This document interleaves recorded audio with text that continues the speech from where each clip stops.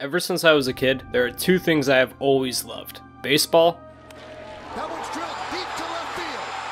and Star Wars. At the time of making this video, we have not had much Star Wars content on the channel. So, I thought it would be a fun idea to do a deep dive into a Star Wars game, similarly like we did for The Last of Us. When it comes to Star Wars games, there are so many to choose from. The classic Battlefront games, Knights of the Old Republic, and Republic Commando. The era of LucasArts games prior to the purchase of Disney consistently delivered fun and memorable Star Wars titles. But if you looked at the title of this video, you can tell where I'm going with this. The Force Unleashed.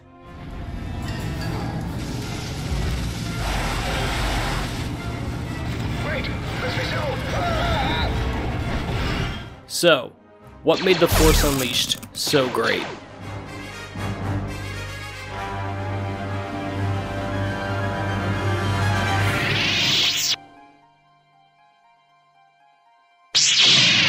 Force Unleashed would be one of the last games developed by LucasArts, with the last one being The Force Unleashed 2. LucasArts would continue licensing games through 2016. The Force Unleashed was released on September 16th, 2008 across just about every platform. The ideas for this game started back in 2004. There were over 100 concepts for a game before choosing this one. What made the team choose the concept for this game was the gap between episodes 3 and 4 being vastly unexplored at the time. There was a one minute pre visualization highlighting kicking someone's ass with the Force. After George Lucas saw this, he told them to go make the game. At the time, George Lucas had direct involvement with LucasArts games, and he spent hours going over the relationship that Starkiller would have with Vader. Also, he floated around the name Darth Icky and I want you to get out of this office right now. Let's be glad that didn't stick. The Force Unleashed is very much a physics based game, and it took 7 years for LucasArts to get the technology where it needed to be for the game. A full year of production for The Force Unleashed began in 2007. The game is intended to make the player feel like they are in a Star Wars movie. The casting for the game took 4 months in part by implementing the use of motion capture, so you can see the striking resemblance between Starkiller and its actor Sam Witwer.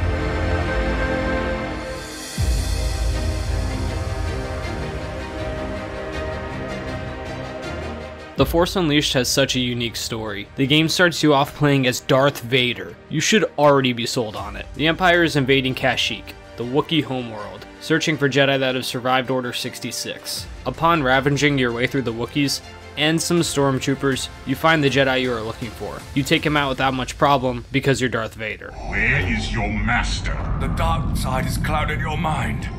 You killed my master years ago. Then now you will share his fate.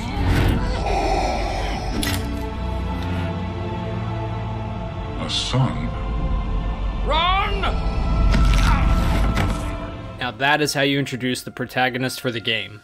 Vader, especially before Disney redid the canon, was monumentally powerful in Legends. You already have a scale of what Starkiller is to become, because according to Vader's senses, he is more powerful than his father, and Starkiller was able to grab Vader's lightsaber with the Force as a child. One of the contributing factors to Starkiller's power is that he is the offspring of two Jedi, Kento Marek and Mallie Marek. They were on a self-imposed exile during the shift to the rule of the Empire. Vader chose to take Starkiller as his secret apprentice. In a scene transition, you can see the hate Vader trained Starkiller with.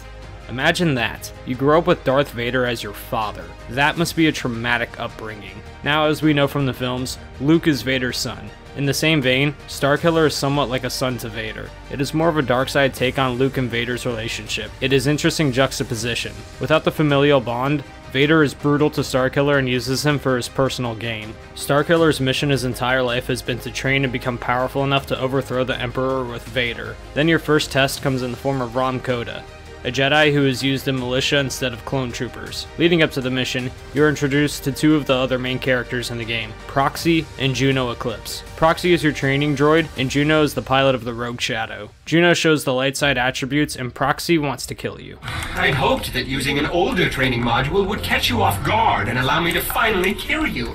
I'm sorry I failed you again. After you complete the first mission and defeat Rahm Kota, he delivers an important line of dialogue for Starkiller's development. Since only me. It is there you are given the main theme of the game and arguably all of Star Wars Redemption. This is the foreground for Starkiller's development and shows the conflict within himself to come. Following this, you are sent on your next mission to face Kazdan Paratus. Invader, in true Sith form, doesn't care if you come back or not. Starkiller is focused on his goal of fighting the Emperor with Vader, so you are sent to Raxus Prime with your new ability, Force Lightning. Also, Paratus went crazy to put it mildly. He built the entire Jedi Council out of garbage. Mm, trash. Yeah, love trash. Yum, yum, trash. Hell yeah, I love eat that little guy. After killing Kazdan Paratus, Starkiller seems a bit taken back. The complexity of his character is shown. Although both of his parents died when he was very young, there is still a connection to the light side within him. As much as he feels the need to hunt Jedi and be Vader's apprentice, he may not want to be. This will be explored more throughout his story. Then for your next target, Vader wants you to hunt down a Jedi who has died in so many different ways.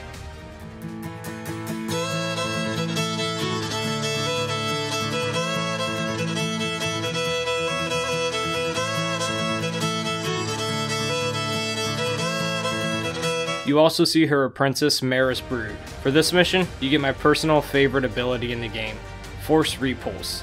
A shockwave you will spam like crazy. What makes Shaak Ti special, besides having 9 lives, is that she was a Jedi Council member, so she is a challenge for Starkiller to prove his worth as a Sith. After fighting your way through Felucia, hey look, a Rancor. You finally make your way to Shaak Ti. After you defeat her, she gives Starkiller a lesson. Poor boy. The Sith always betray one another. Then Starkiller reaches out to grab her to no avail. He plays things off as being assured of his actions because he is loyal to Vader, but the seeds of doubt are planted. He was never taught the ways of the Jedi or Sith, he was taught to be an assassin by Vader. The game just foreshadowed his first lesson into how the Sith operate. The Emperor's fleet has arrived.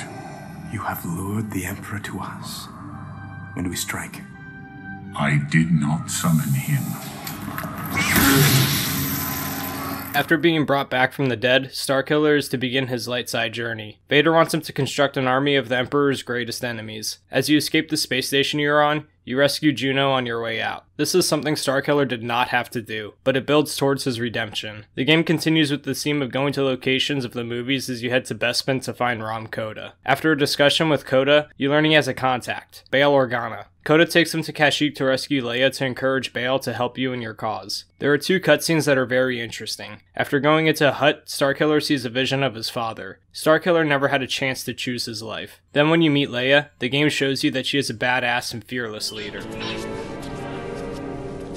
And what makes you think I need a pilot? In the start of the game, you see what Kashyyyk was prior to the rule of the Empire. The planet has lost all of its life, and the Wookiees are enslaved. Leia wants you to give them a fighting chance by taking out the Skyhook. This is one of the first actions Starkiller would take as a Jedi. Then you head back to Felucia to rescue Bail Organa, and the planet has been engulfed by the dark side following the death of Shaak Ti. After rescuing Bail from Maris Brood and her Rancor, Starkiller becomes witness to his actions and sees himself in Maris. She feels abandoned by Shaak Ti. He lets her go because she won't be free and she'll carry the memories of what she did there. That is speaking from experience. After this, Starkiller has a conversation with Vader, and Juno hears all of it. He is still a slave to the dark side and Vader, although he feels compassion for his new allies. Juno set him straight. She has lost everything too, and doesn't want to leave another life behind. Juno is the light side that resides in Starkiller, and he will have to make a decision for himself and the newfound rebellion. Starkiller has seen what his actions and the dark side do to others. He has felt remorse along the way. Juno becomes his moral compass. This is a huge turning point in his character development. The next part of his journey takes him back to Raxus Prime. The galaxy doesn't believe it is possible to fight the Empire. Starkiller is to show Bail and his allies that it is possible to fight the Empire. In this mission, there's a boss battle with Proxy because this is the best time for him to kill Starkiller. He cycles through bosses you have already defeated, then appears as Darth Maul. It is a fun in-game moment fighting Darth Maul. Following the boss battle, you fire cannons at the Imperial target, then the most memorable moment of the game happens. Your objective is to pull an Imperial Star Destroyer out of the sky. One thing I have to mention about my playthrough. I was playing The Force Unleashed on Steam, and it is buggy. On some sections, the audio cuts out partially. You cannot hear incoming enemy fire.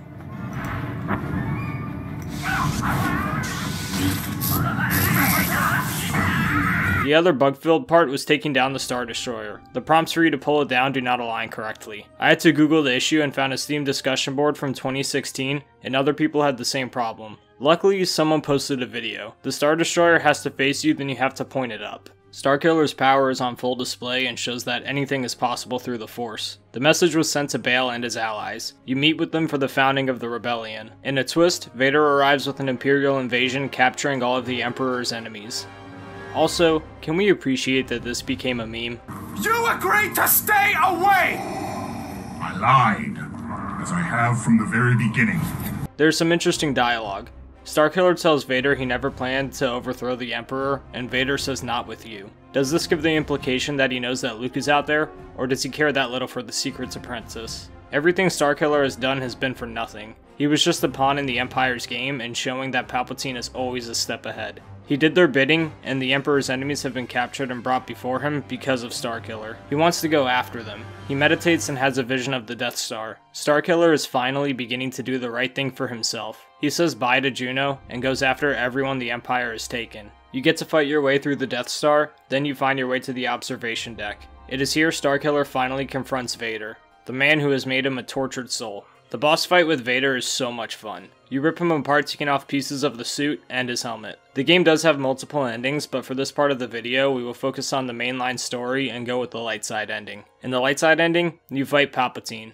Talk about an epic way to finish the story. Starkiller eventually gets the upper hand. He wants revenge for everything Palpatine and Vader have done to him, but he restrains himself thanks to Kota. Palpatine attacks Kota and Starkiller holds off the Force Lightning. He ends up sacrificing himself so others can get away, and the game pulls some motifs from episodes 4 and 6. Starkiller has become more powerful in death just like Obi-Wan, and the Emperor's overconfidence ended up being his weakness, just like Luke would eventually tell him. Everything they used Starkiller for ended up being their undoing. The game wraps up on Kashyyyk. The symbol for the House of Marek will be the flag for the rebellion to rally behind. Then Juno has a conversation with Kota. He always had his suspicions about who they were. He chose to help them because of one thing Starkiller held onto till the very end.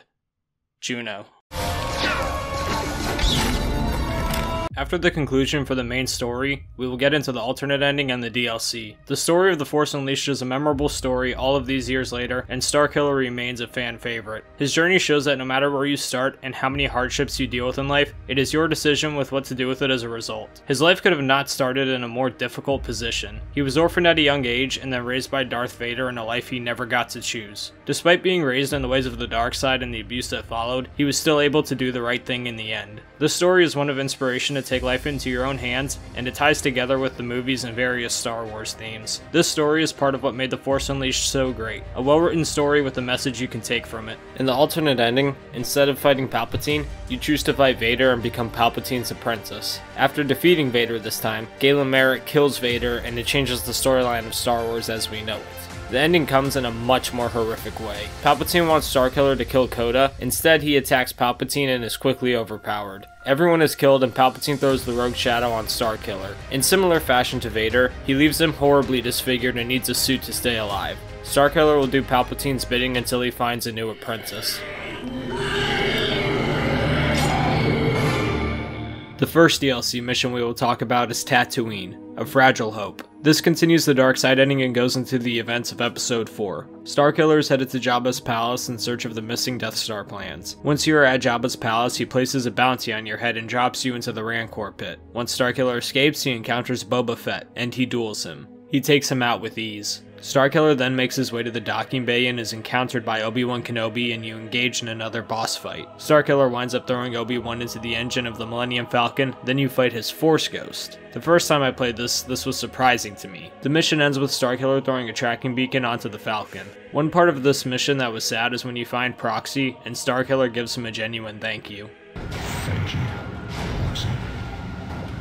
Certainly, Master. It was so good. The DLC for Hoth continues the storyline, and you guessed it, it's the events of The Empire Strikes Back, renamed Wrath of the Empire. In the beginning of the mission, you have planned a route and fight your way through Wampas. It was cool how Starkiller strangled Captain Kenna through the Force for his failures, very Vader-esque. You failed me for the last time, Captain Kina. If that is the case, I assure you, I take full...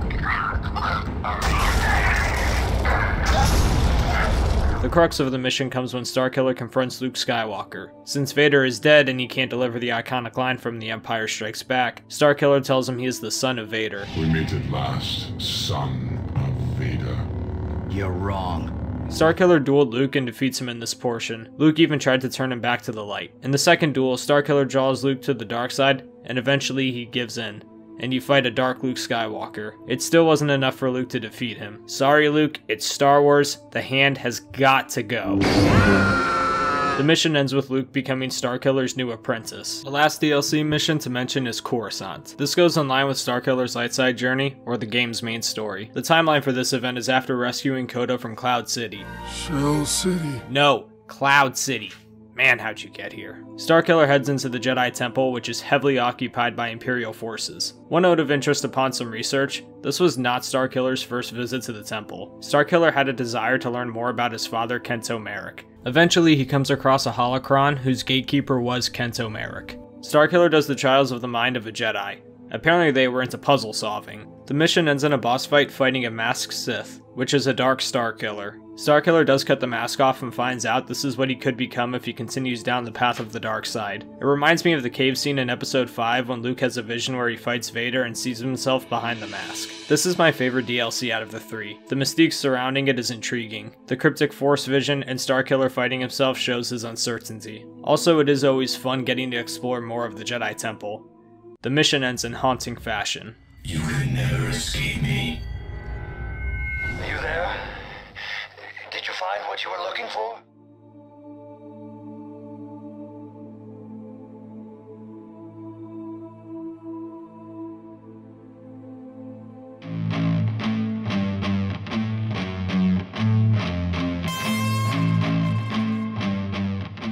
The gameplay surrounding The Force Unleashed is physics based, like we mentioned earlier. The lightsaber combat is fun, but it is definitely based on Force abilities, as the title of the game would suggest. I do love the over the top Force powers, it does show how lethal a Force user can be in the Star Wars galaxy, as well as making you feel powerful as the player. There are some collectibles in the game, there are holocrons you can find to upgrade Starkiller's Force abilities, and you can unlock more combos.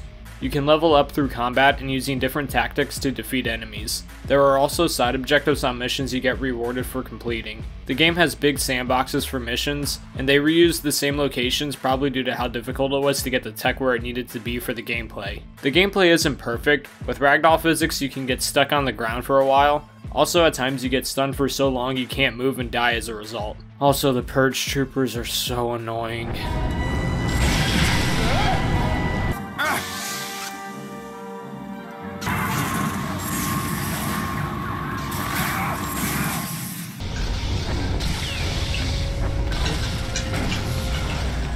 The game is full of boss battles. Some can be frustrating on harder difficulties, but there's usually a way to cheese them onto the ground and impale your opponent. The lightsaber combat is fun in boss battles, and QuickTime events have fun scripted sequences. Playing this game in 2022, the graphics still hold up really well, especially the cutscenes. The Force Unleashed has sold incredibly well. It sold over 1.7 million units across all platforms, making it the best selling game in the third quarter of 2008. It was the fastest selling Star Wars game and LucasArts game. It won a Writers Guild of America award for Best Video Game Writing. IGN praised the voice acting, especially Sam Witwer's voice acting. Time called The Force Unleashed the seventh best video game of 2008. In 2008, GameSpot awarded it the best use of a creative license and was nominated for Best Voice Acting. It was one of GameTarget's 40 games we'll be playing from 2008. The game also received a novelization that was published in 2010. In addition, it received a graphic novel that was released on August 18, 2008. Both the comic and novel are canonical events of the game. Star Wars fans are familiar with Sam Witwer and what a talent he is. Along with voicing Starkiller, he also appeared in the animated Star Wars The Clone Wars as the voice of Darth Maul. In that same series, he also voiced the son from the Shadow of Mortis arc. He came back to voice Darth Maul in Star Wars Rebels. Starkiller also appeared in Soul Calibur 4. It is also worth mentioning the comparison between Fallen Order and The Force Unleashed. An article by CBR said Fallen Order is the perfect inverse of The Force Unleashed. You can see broad similarities with open level design and playing a narrative as a Force user. Fallen Order is much more grounded than The Force Unleashed. This excerpt from the article perfectly summarizes the similarities between the games. Starkiller and Cal Kestis are opposite sides of the same coin. Both lost an important parental figure at an early age. Both were thrown into a quest they never asked for, but were determined to see through the end all the same. Both found new mentors and troubled ex Jedi, and both had to take a hard look at themselves in order to decide if what they were doing was actually right.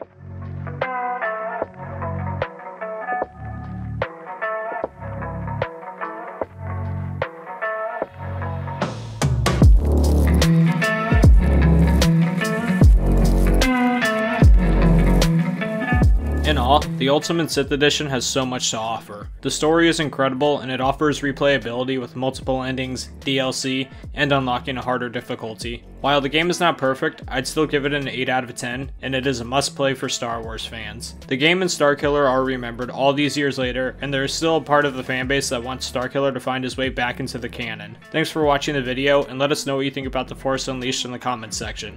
See you in the next one.